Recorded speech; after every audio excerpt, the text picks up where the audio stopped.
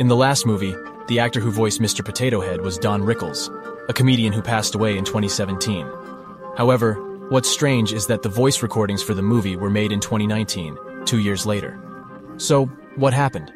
The director confirmed that for his dialogues, they used recordings from previous films, a peculiar detail where an actor was in a movie without actually being in it.